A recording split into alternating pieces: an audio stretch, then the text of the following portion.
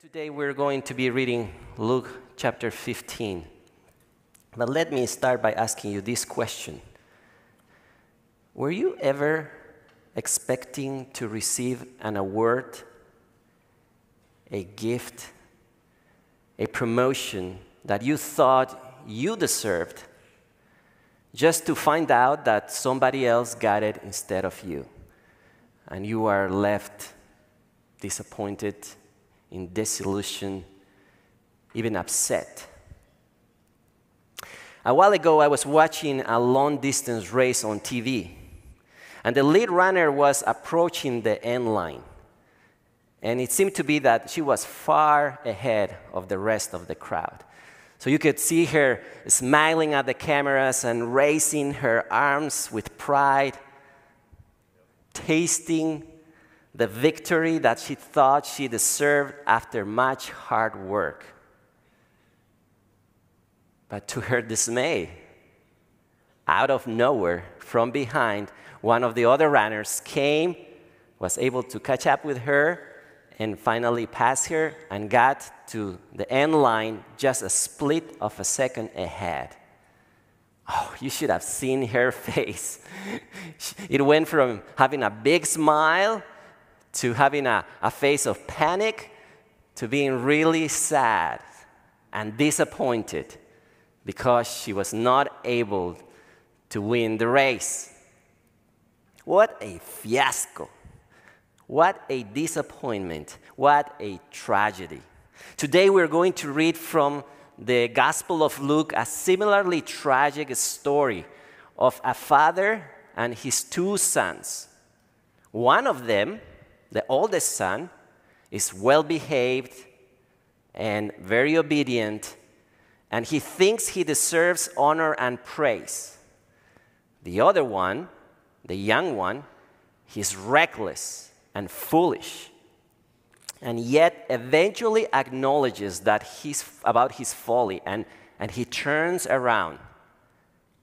Just like in the race, the proud son, the older son, he feels confident that he deserves the prize. And yet, it is the reckless son, the young son, who repent and turn around the one who is ultimately celebrated. The story that we're going to read today teaches us that a reckless sinner who humbly repents is celebrated over the proud whose confidence is in himself. A reckless sinner who humbly repents is celebrated over the proud whose confidence is in himself. So we, I will invite you now to please open your Bibles. We're going to read uh, chapter 15 the story uh, that we're going to read today is really starting in verse 11, but for context, we are just going to read a couple of verses at the beginning of chapter 15. So please follow as I read Luke chapter 15. This is the word of God, verse 1. Now the tax collectors and sinners were all drawing near to hear him. That's to hear Jesus. And the Pharisees and the scribes grumbled, saying, This man receives sinners and eats with them. So he, Jesus, told them this parable. Now we go to verse 11. There was a man who had two sons, and the younger of them said to his father, Father, give me the share of property that is coming to me. And he, the father, divided his property between them. Not many days later, the younger son gathered all he had and took a journey into a far country. And there he squandered his property in reckless living. And when he had spent everything, a severe famine arose in the country, and he began to be in need. So he went and hired himself out to one of the citizens of that country, who sent him into his field to feed pigs. And he was longing to be fed with the pods that the pigs ate, and no one gave him anything. But when he came to himself, he said, How many of my father's hired servants have more than enough bread, but I perish here with hunger? I will arise and go to my father, and I will say to him, Father, I have sinned against heaven and before you. I'm no longer worthy to be called your son. Treat me as one of your hired servants. And he arose and came to his father. But while he was still a long way off, his father saw him and felt compassion and ran and embraced him and kissed him. And the son said to him, Father, I have sinned against heaven and before you. I'm no longer worthy to be called your son. But the father said to his servants, Bring quickly the best robe and put it on him, and put a ring on his hand and shoes on his feet, and bring the fattened calf and kill it, and let us eat and celebrate. For this my son was dead and is alive again. He was lost and is found. And they began to celebrate. Verse 25 Now his older son was in the field and as he came and drew near to the house, he heard music and dancing. And he called one of the servants and asked what these things meant. And he, the servant, said to him, Your brother has come, and your father has killed the fattened calf because he has received him back safe and sound. But he, the older brother, was angry and refused to go in. His father came out and entreated him, but he answered his father, Look, these many years I have served you. I never disobeyed your command, yet you never gave me a young goat that I may celebrate with my friends. But when this your son of yours came, who has devoured your property with prostitutes, you killed the fattened calf for him? And he, the father, said to him, Son, you're always with me, and all that is mine is yours. It was fitting to celebrate and be glad, for this your brother was dead and is alive. He was lost and is found. Pray with me.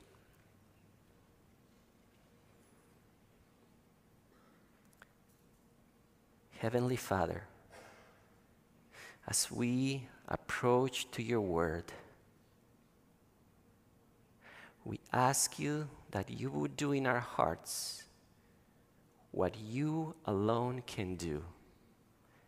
That you will apply your word as it's needed in this room. That your spirit will speak through your word to your people for their good. I pray in your name. Amen.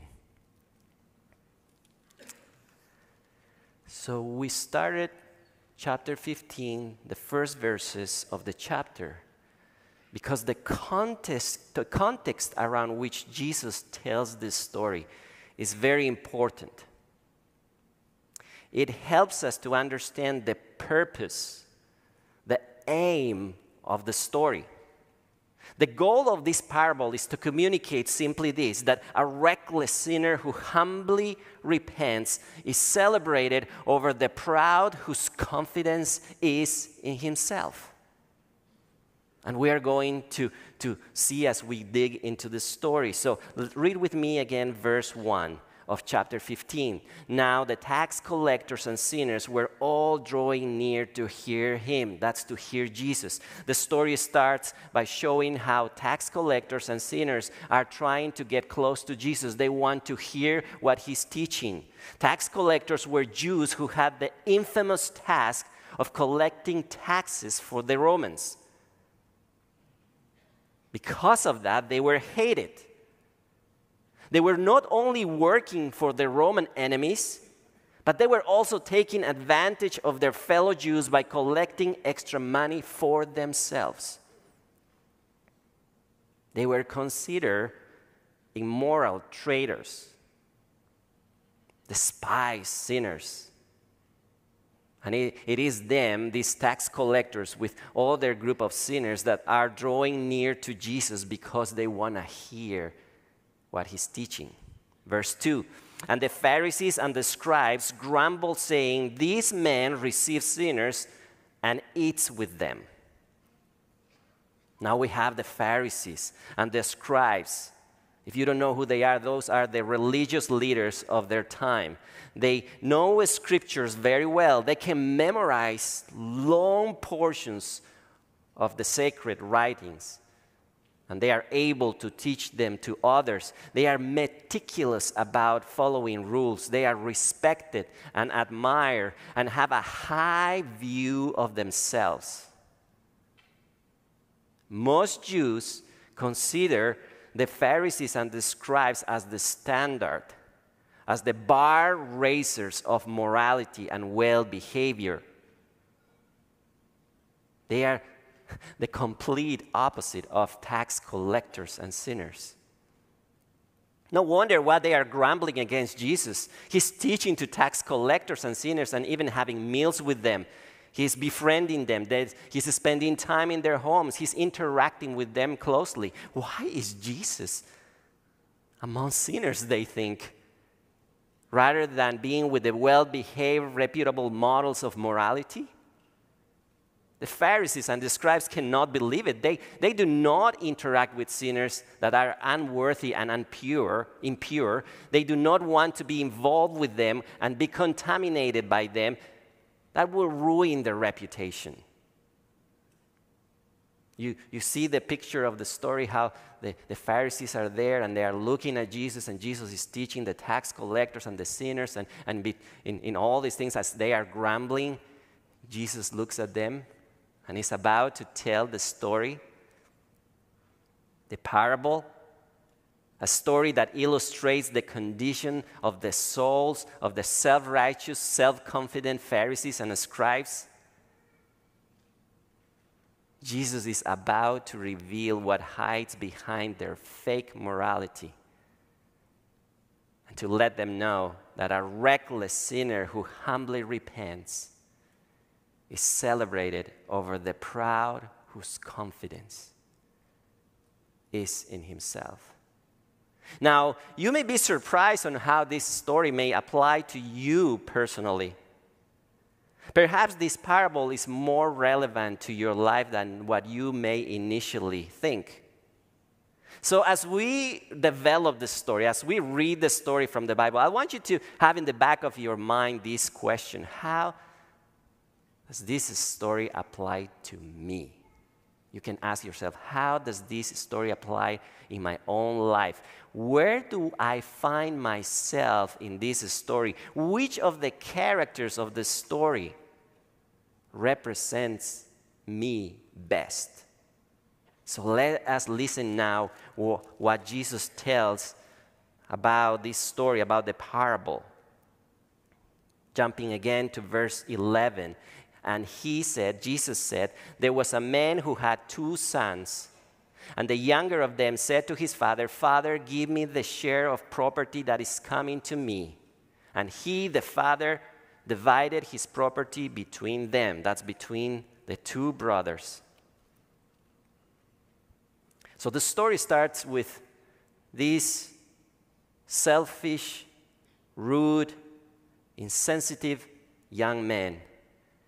He has actually little respect for his father all he really cares about is the inheritance that he's about to receive. Now, imagine that you go to your father and you tell him, Dad, I don't know how long you'll be around, but I don't really care. What matters to me is that I am young and I want to enjoy life. I want to travel around. I want to have tons of fun. And I don't have the patience to wait until you die. So, why don't you just give me the money that will be mine anyway? Give it to me now. And surprisingly, the father does it. He divides his property between the two sons and gives the young what he asked for. Verse 13. Not many days later, the younger son gathered all he had and took a journey into a far country, and there he squandered his property in reckless living. So the young son doesn't waste any time. He receives his money, and not many days later, he takes off. And he goes as far as he can, away from his father, away from his home. Why? Perhaps he does not want anyone around questioning his actions, calling him out on how he's living and using his money. He wants to have fun and no Joe killer around him. So he goes far away and wastes his money, burning his inheritance in reckless, wasteful living, drinking and smoking, doping and paying women to satisfy his desires. He's living the life. He's enjoying his freedom with no one telling him what to do. Verse 14. And when he had spent everything, a severe famine arose in that country, and he began to be in need. So he went and hired himself out to one of the citizens of that country, who sent him into his fields to feed pigs. And he was longing to be fed with the pods that the pigs ate. And no one gave him anything. So now we find the young man, he spends everything, all of what he had. Now remember, the father didn't just give him his weekly allowance because he did his chores, right? He gave him a big pile of cash. He, he gave him an inheritance that he's supposed to manage wisely and spend carefully. But the reckless son spends everything, all of it.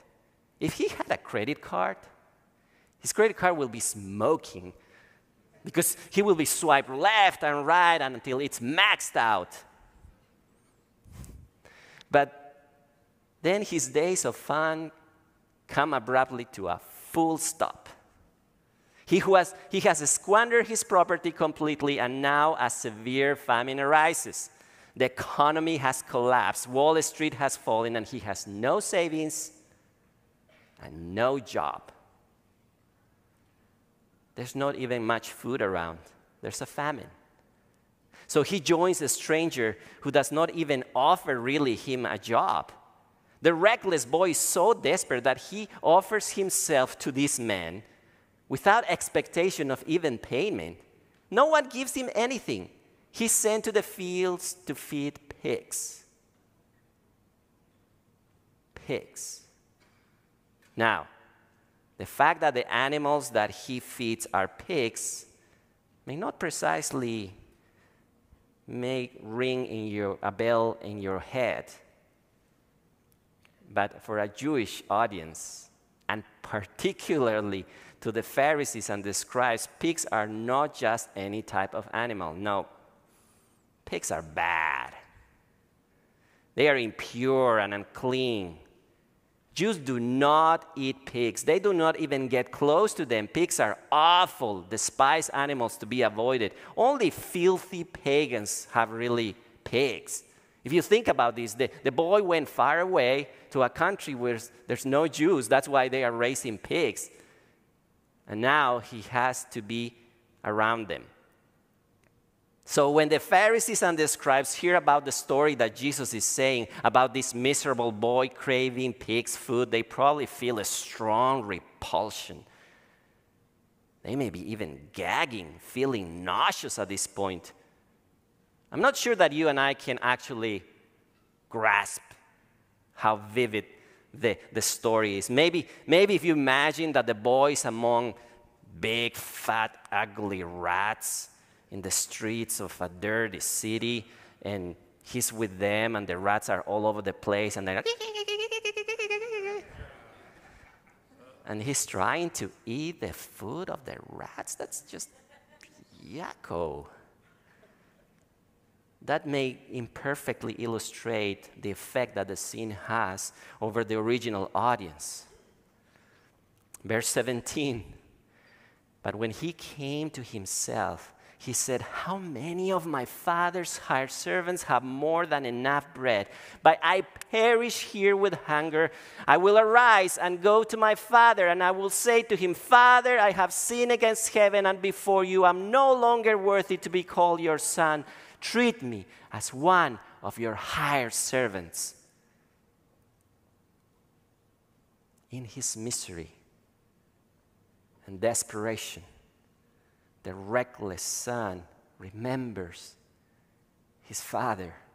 He remembers the wealth, the security, the shelter that his home used to provide for him. And he, he thinks, even the hired servants of my dad have more than enough bread to eat.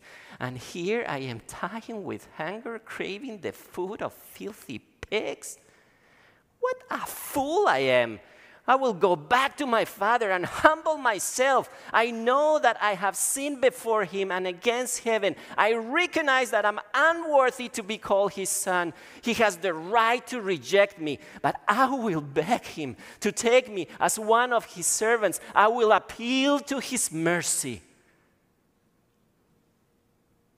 So the young son takes a deep breath and initiates the long and painful journey towards home. He doesn't know how the father is going to react. He may reject him, and rightly so. Now, let me ask you this. If you were the father, and your son treats you the way this young boy has treated his dad, how, how would you react? How, what would you say? Would you reject him? Would you tell him, I told you so? I want to make sure you learn the lesson before I let you back. I will clearly set the conditions under which you can come back to make sure that you never do it again. Is that what you will tell him? Is that what you would do? Verse 20. And he arose and came to his father. But while he was still a long way off, his father saw him and felt compassion and ran and embraced him and kissed him. So I don't know exactly what the father was doing right before the scene. According to what we can read, one day the Father sees far off and far in the horizon, he sees a distant figure. And the distant figure is walking very slowly, dragging his feet head down, a crooked man, skin and bones. He has clear signs of starvation. And as the father, with his old sight, tries to force his eyes see if he can recognize this distant figure. All of a sudden, it hits him. It is my son. It is my son my young son, and an overwhelming wave of compassion and mercy and unspeakable joy floods his whole being. He runs as fast as his old feet allow him to do. He rushes over his son, he embraces him and kisses him and rejoices in him. Verse 21 And the son said to him, Father, I have sinned against heaven and before you. I'm no longer worthy to be called your son. You see, during the long journey back home, the son may have been playing in his mind and rehearsing over and over and over again what he's going to say to the father Father, I have sinned against heaven and before you. I'm no longer worthy to be called your son. We know this. We know that he was saying that because it is exactly the same words that he had planned to say in verse 18 and 19. But before he says the last sentence, of what he had planned to say in those verses. The father interrupts him in verse 22. But the father said to his servants, Bring quickly the best robe and put it on him, and put a ring on his hand and shoes on his feet. As the son is coming back home, he has all torn, ragged clothes he had no money. He had squandered it all. Perhaps he's half naked. His sandals are falling apart. Maybe he's barefoot. His hands are dirty, dry, cracking down. And the father says to his servants, Quickly, quickly, bring the best robe. Let's dress my son, put a ring on his hand and shoes in his feet, dress him like a prince. Go to the field and find the best calf and kill it immediately. We will feed him like a king. He does not have to crave for pig's food any longer. Let us eat and celebrate, for he's back. My son is back. He was dead, but he's alive. He was totally lost, but he's found. That's the, that's the peak, that's the climax of the story. But the story does not end there. The rest of the parable is painfully anticlimactic. This is not the type of story that ends with, and they live happily ever after. We read that the older son comes home from the field as he had been working hard there, and he hears the music and the dancing. Celebrate that son. Come on. Let us celebrate him. And he hears this dancing and this music, and he's wondering, what is this convulsion? And he asks one of his servants. And the servant comes to him and tells him, It's your, it's your brother. He's back. Your father has received him sound and safe. And he asked us to kill a calf to celebrate his returns. And the older brother thinks, like, what? Why? How can this be? This is outrageous. He's so furious. He, he refuses to get into the house. So the father goes out to implore him to come in, but the older brother will not take it. He replies to his father, unleashing his anger. Verse 29. Look, he tells him, these many years I have served you and I never disobeyed your command, yet you never gave me a young goat that I may celebrate with my friends. But when this son of yours came, who has devoured your property with prostitutes, you killed the fat, fattened calf for him? What an injustice! If you were in the shoes of the older brother, how would you? React. Do you think that the father was being unjust? I mean, he has actually a good point, right?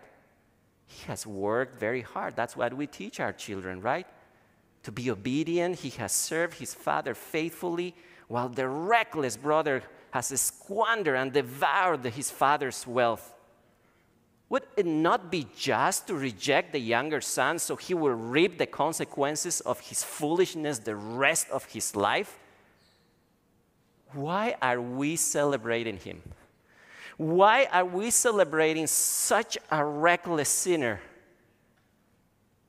Verse 31 And the father said to him, Son, you're always with me and all that is mine is yours. It was fitting to celebrate and be glad for this. Your brother was dead and is alive, he was lost and is found. The end. That's how the story ends. The older son stays outside, bitter, angry, resentful, while the rest of the household is celebrating the return of the reckless son who seemed to be dead, but turned around and now is alive. That's how Jesus ends the story. Jesus tells this parable to the self righteous Pharisees and scribes to illustrate their condition. They are actually represented by the older son, who sadly never sees or accepts his problem and misses the celebration and the joy in the father's house. Just like the older brother the religious leaders think they deserve a place of honor and they are blinded by their pride. They grumble about Jesus spending time with sinners because they don't see themselves as sinners in need of mercy. But through the parable, Jesus shows them that a reckless sinner who humbly repents is celebrated over the proud, whose confidence is in himself.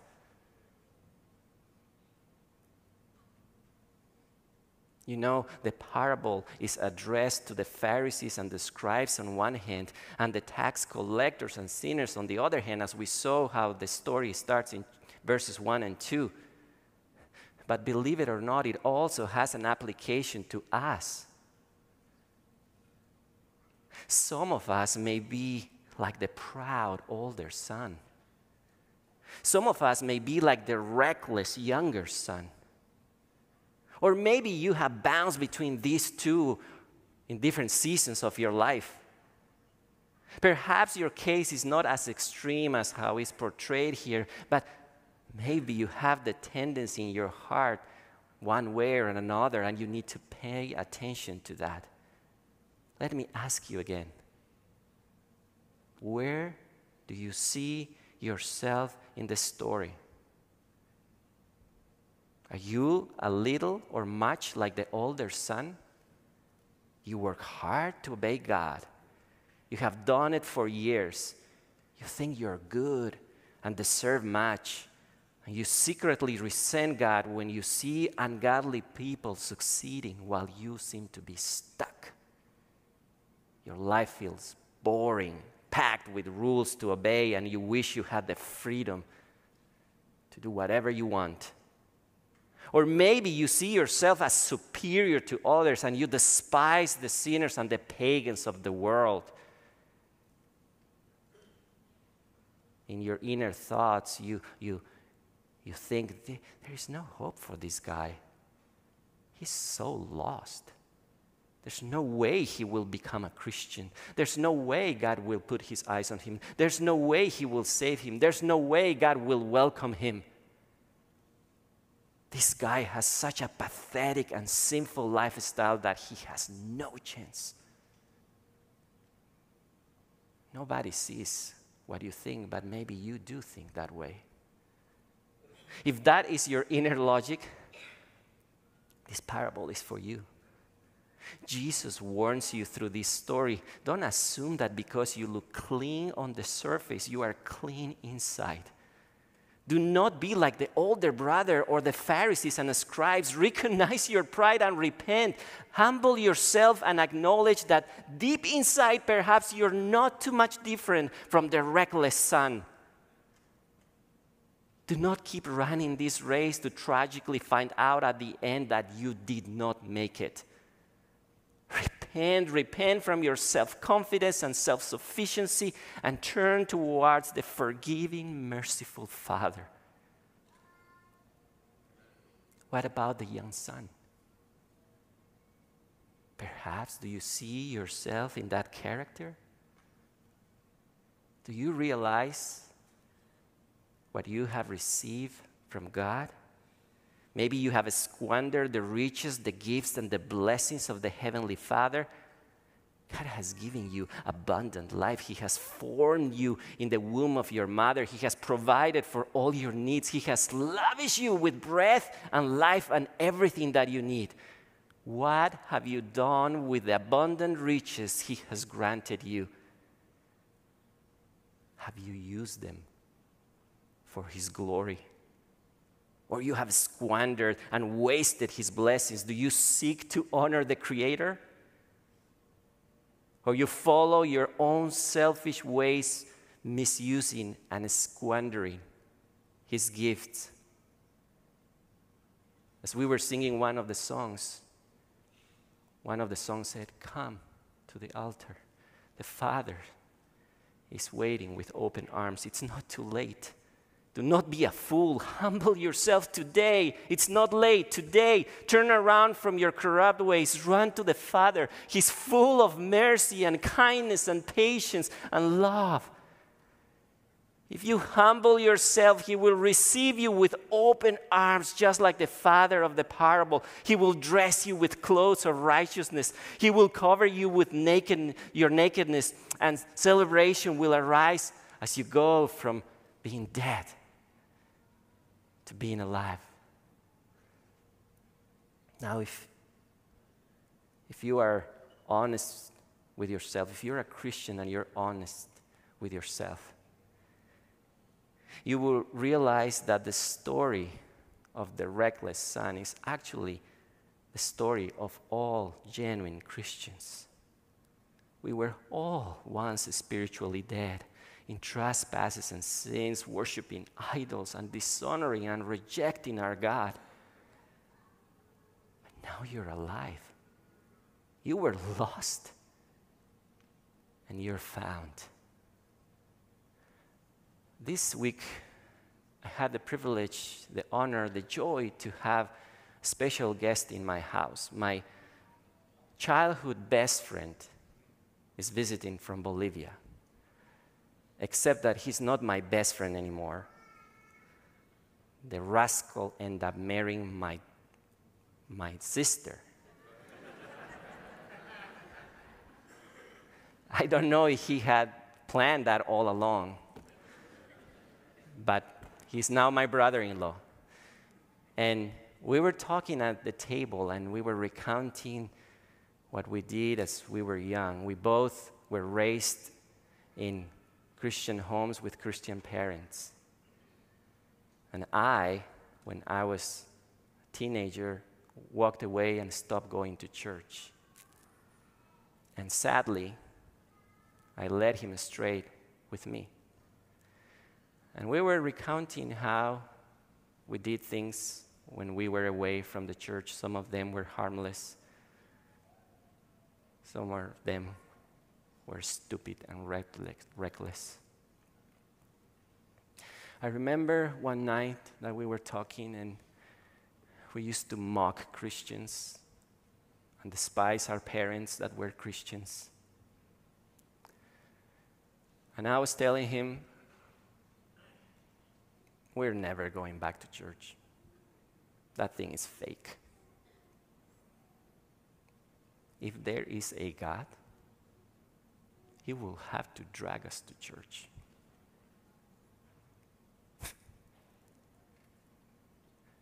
I, I picture up there the merciful Father smiling,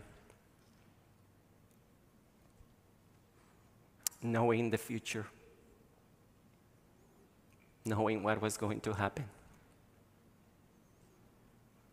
He didn't drag me back. He was patient, merciful, compassionate. I can tell you the whole story maybe one day, but here I am. I'm preaching the gospel to you. I'm a pastor. And my best friend is a missionary.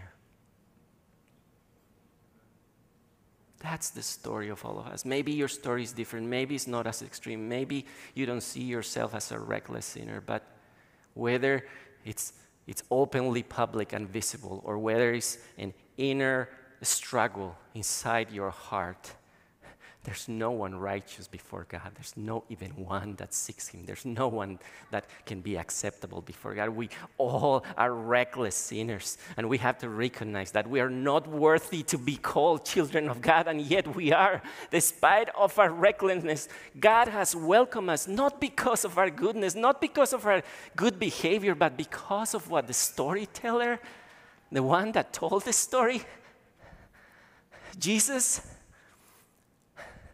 he went to the cross so we so he will pay the recklessness.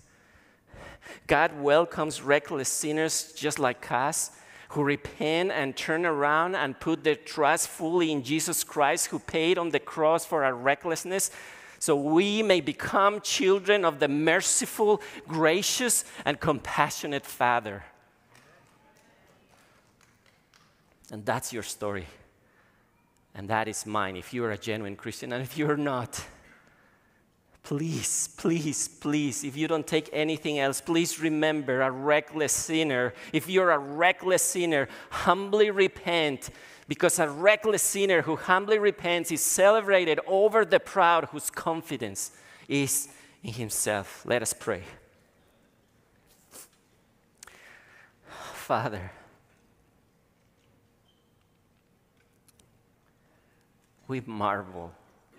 We marvel, we marvel at your word. We marvel at your grace. We marvel at your mercy. We marvel at your love and unspeakable compassion for us. We all are reckless sinners in need of mercy.